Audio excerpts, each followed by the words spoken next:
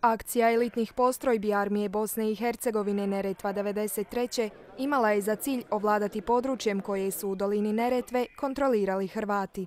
Šire područje mjesta Vrdi bilo je iznimno važno za opstojnost Hrvata u Hercegovini. Polaganjem vlastitih života pripadnici HVO-a uspjeli su sačuvati višestoljetna ognjišta.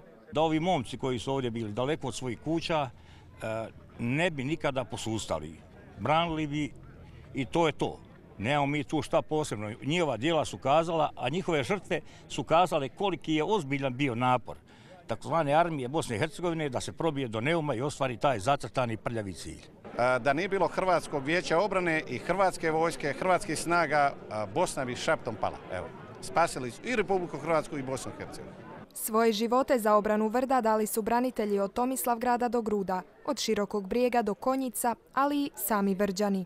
Živo je sjećanje na branitelje koji su zbog ljubavi prema domovini ovdje u mjestu Vrdi položili ono najvrijednije što su imali, svoje živote. Čuvajući uspomenu na njih, na svima ostaje odgovornost da njihova žrtva ne bude uzaludna. Iako se obitelji poginulih branitelja imaju razloga osjećati ponosno, gubitak najmilijih ništa ne može nadoknaditi. Naš sin Stjepan koji je imao 19 godina poginuo je tu na Vrdima. Svake godine dolazimo tu ovi divni ljudi odavde nas pozivaju iz gruda zapravo, zvijezda i ostali iz općine. Svake godine dolazimo i to su emocije prevelike, ne mogu vam ništa više reći. Samo mi je drago da ima još neko ko misli na njih, koji nije zaboravio. Pa, uz dosta tugu je osjećam i veliki ponos. Ja mislim većina djece poginulih branitelja da znaju ko su im očevi bili i da su ovaki dani, što se toga tiče, izuzetno važni i od njegovi, njihovih kolega koji nisu to zaboravili i vidi se danas gdje će biti skoro 2000 ljudi da ta žrtva nije bila uzaludna. Značaj žrtve hrvatskih branitelja kroz služenje svete mise istaknuo je i sisački biskup Vlado Košić, koji je uputio poruku mira.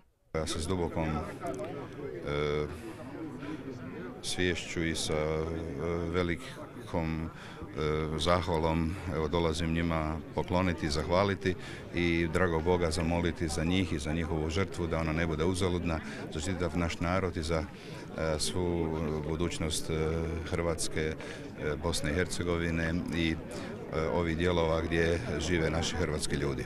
Obilježavanju obljetnice uz mnoštvo vjernika i obitelji žrtava nazočili su pripadnici Grudske brigade Vitez Ranko Boban, predstavnici udruga proisteklih iz domovinskog rata, izaslanstvo općine Grude, kao i brojni dužnosnici izvršne i zakonodavne vlasti. Položili su vijence kod spomen križa, simbola sjećanja na one koji su za svoj narod živote dali.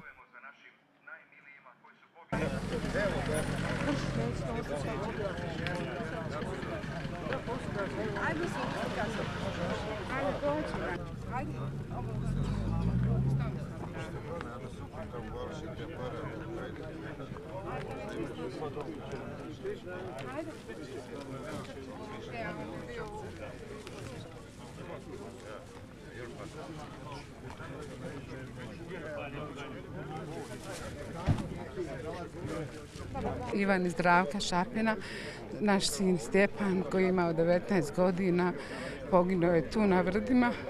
Svake godine dolazimo tu ovi divni ljudi odavde nas pozivaju iz gruda zapravo, zvijezda i ostali iz općine. Svake godine dolazimo i to su emocije prevelike, ne mogu vam ništa više reći. Samo mi je drago da ima još neko ko misli na njih, koji nije zaboravio. On je inače bio u Hrvatskoj vojsci. Dođi Stefane. Kaži ti nešto. Ono sinu pokojnog strike.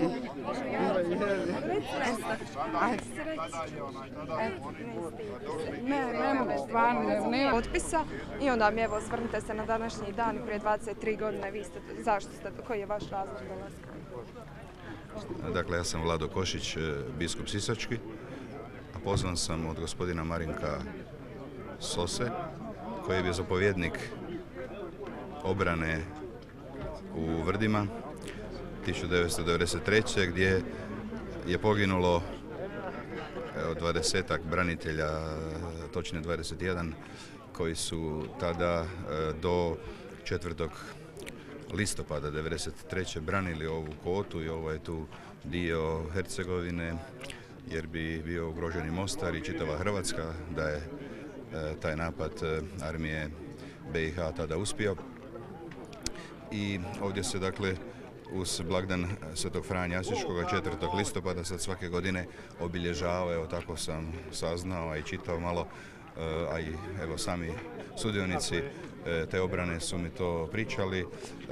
Evo pogibija naših hrvatskih branitelja za koje se tu molimo, dolaze i njihovi suborci i da kako obitelji poginulih, pomoliti se evo, za njih, ali i za našu domovinu koja je zahvaljujući njihove žrtvi obranjena. Pa evo ja se s dubokom svješću i sa velikom E, zahvalom evo, dolazim njima pokloniti, zahvaliti i drago Boga zamoliti za njih i za njihovu žrtvu da ona ne bude uzaludna, za naš narod i za e, svu budućnost e, Hrvatske, Bosne i Hercegovine i ovih dijelova gdje žive naši hrvatski ljudi. Sveto mis. Da. Pa evo ja sam, vidjet ćete, dakle, zabrao da na temelju riječi Božije koja se čita, proroka Habakuka, poslanice Korinčanima i Evanđelja po Luki, evo, uputim poruku mira, poruku koju nam gospodin evo, želi darovati da se ne bojimo i da s njime možemo nadvladati svaku teškoću, a da i te žrtve nisu uzaludne, nego da ljubiti Boga i čovjeka i svoju domovinu je nešto plemenito i žrtva koja se ulaže za taj cilj je uvijek nagrađena i kada čovjek čini pravdu, onda je sigurno Bog s njime. Evo to vjerujemo da na tom putu trebamo ostati i da će nam Bog dati svoju pomoć i blagoslov. Svako dobro. Evo ti Ja sam brigadir Ivan Primorac, E, ratni zapovjednik e, u ovome dijelu sektora. Dakle, ovaj sektor je formiran 2.7. i u to vrijeme do vodio ga je gospodin tada pukovnik Miro Andrić sve do 6.9. kada ja preuzimam po zapovjedi glavnog stožera, preuzimam sektor Sjever i odlazim s mjesta načelnika opet nastavnog odjela u rajon sjevernog sektora. Sjeverni sektor se protezao od brane Salakovac preko dakle, e, Jedrinja, Zaružja, Arapova brda, Šiljeve strane, Medvjeda, Golubića, e, Velike Vlajne, Pjeskulje, Ramca, Tvorca, Ravne grude, Kršnih Bukava do Karamanovi klanaca, otprilike u dužini od 75 km. To su bili visovi, teško pristupačni tereni u dolini Neretve.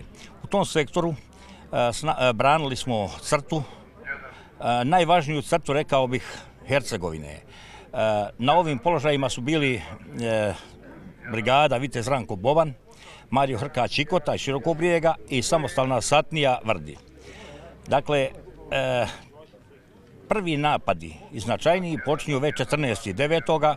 kada oni u svojim e, izviđačkim aktivnostima ubijaju dvojica pripadnika sekcije Vrdi, ona je satnije Vrdi i izviđaju teren kako bi pripremili tu svoju odlučujuću akciju za 19.9.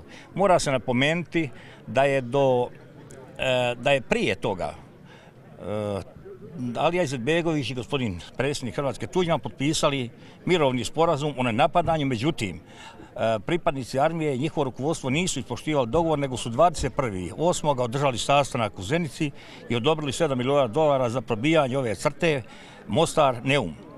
Dakle, radilo se podmuklo, ne, poštujući nikakve sporazume, o čemu je pisao i e, reporter, odnosno novinar Hadžić iz Zenice. E, ovdje su napadi, najžešći napadi počeli 19.9. E, da bi se nastavili 20. prema Mostaru.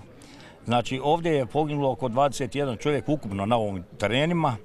U zaružju još pet momaka iz, iz brigade Marije Hrka Čikota.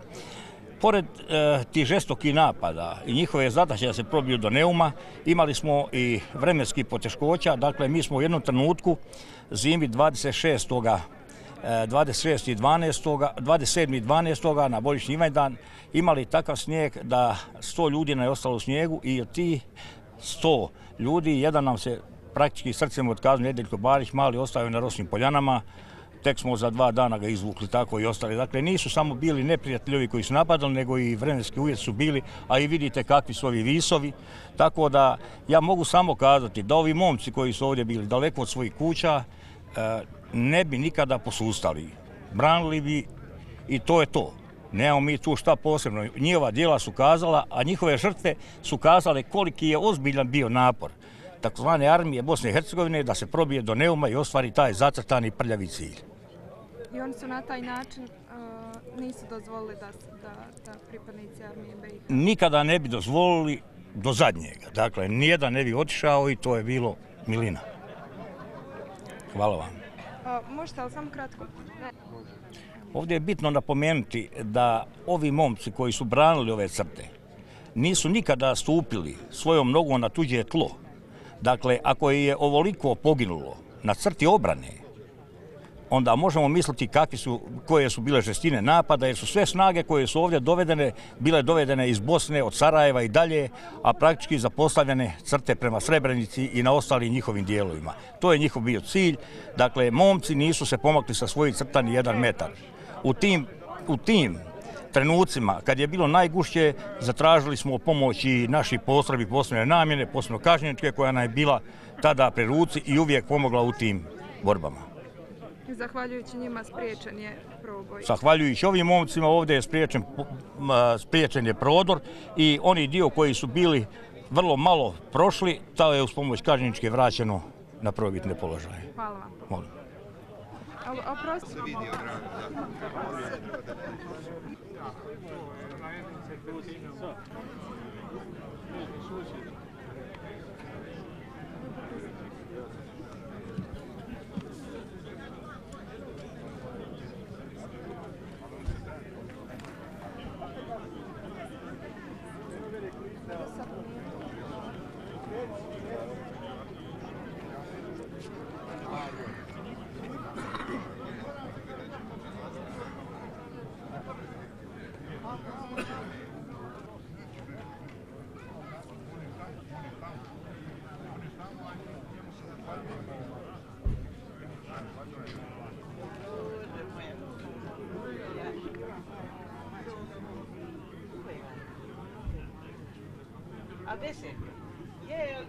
Evo samo ti da nam ispričaš svoju neku stranu, reci, evo možeš reći, ne znam, naš braća se stara.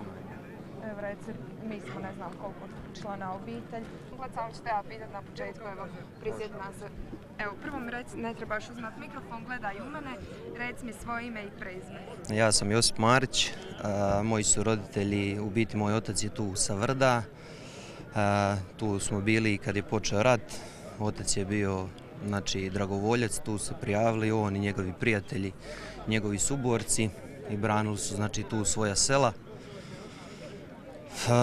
Spletom okolnosti poginuo je kao još nekolicina njegovih kolega i suboraca, konkretno moj otac 4.10. znači 93. I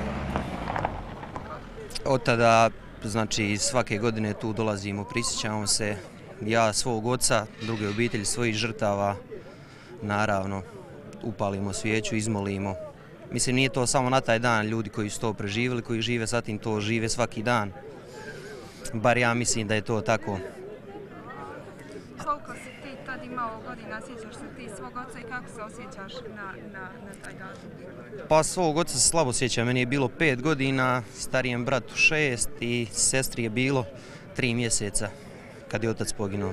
Sve su to neke slike koje su veli vremenom izblijedile i jedino iz priča što je ostalo od bake, djeda i majke i to je to. Kako se osjećaš Pa, uz dosta tuge ja osjećam i veliki ponos. Ja mislim većina djece poginulih branitelja da znaju ko su im očevi bili i da su ovaki dani, što se toga tiče, izuzetno važni. I od njihovih kolega koji nisu to zaboravili, vidi se danas gdje će biti skoro 2000 ljudi da ta žrtva nije bila uzaludna. Hvala ti.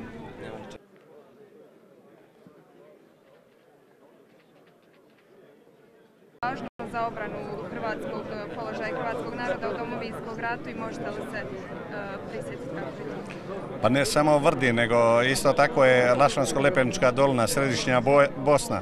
Znači na ovim prostorima se branila Hrvatska. Oni koji ne znaju moraju se prisjetiti riječi predsjednika svih Hrvata, doktora Franje Tuđmana, kada je e, izrekao 1994. godine u Vitezu ispred bolnice Nova Bila kada je otvarano veleposlanstvo Republike Hrvatske u Sarajevu, tada je rekao ovdje se nije branilo samo hrvatstvo, nego i strateški interesi Republike Hrvatske.